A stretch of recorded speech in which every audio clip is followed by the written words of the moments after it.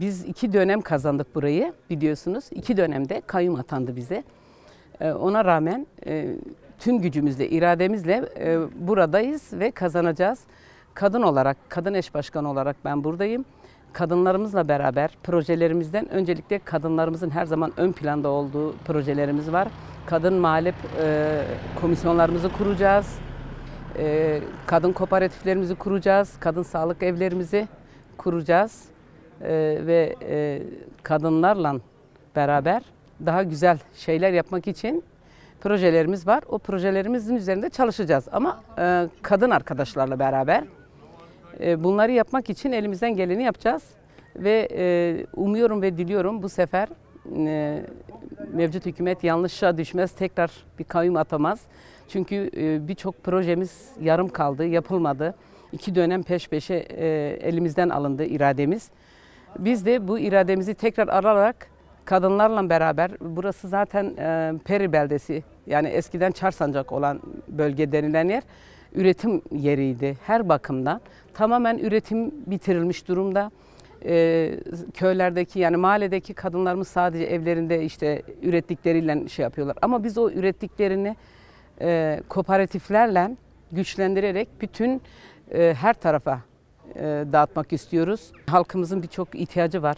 E, Umarım e, geldiğimizde onların bu ihtiyaçlarını e, yapmak için elimizden geleni e, daha iyisini yapacağız. Bunu buna inanıyorum ve kadınlarımızın, halkımızın da inanmasını istiyorum.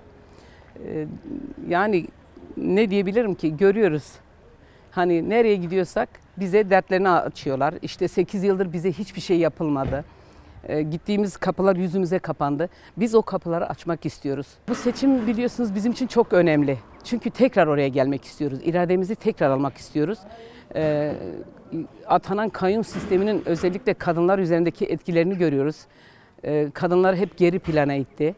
Hani e, dediğim gibi kazanıp irademizle, halkımızla bütün kapılarımızı açarak çalışıp başarmak, güzel günler görmek istiyoruz. Baharın gelmesini, geldiğini görmek istiyoruz. Göreve gelir gelmez e, hem yarım kalan çalışmalarımızı tamamlamak hem de acil sorunlara müdahale etmek bakımından bir e, hareket planımız olacak. En önemli sorunumuz e, mahalle bağlantı yollarımızın e, artık araçların geçemeyeceği düzeye gelmiş olması ve bu konuda çokça şikayet e, alıyoruz.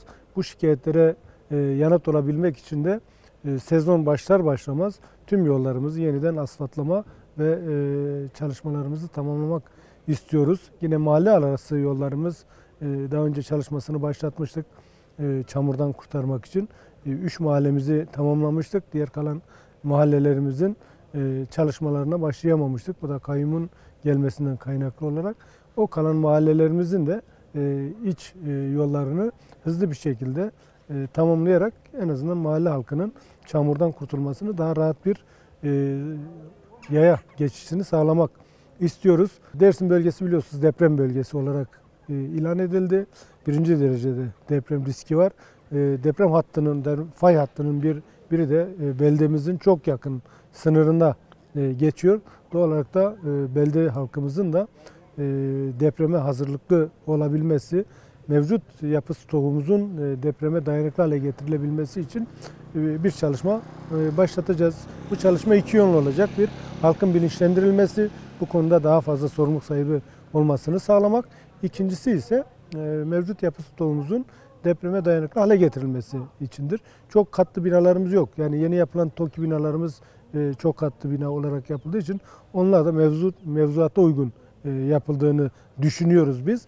Ama ona rağmen denetimlerimizi e, sıklaştırmak için e, bunu e, takip edeceğiz. Bölgemiz tarım ve hayvancılıkla geçinen bir bölge. Halkımızın %95'i tarım ve hayvancılık yapmakta.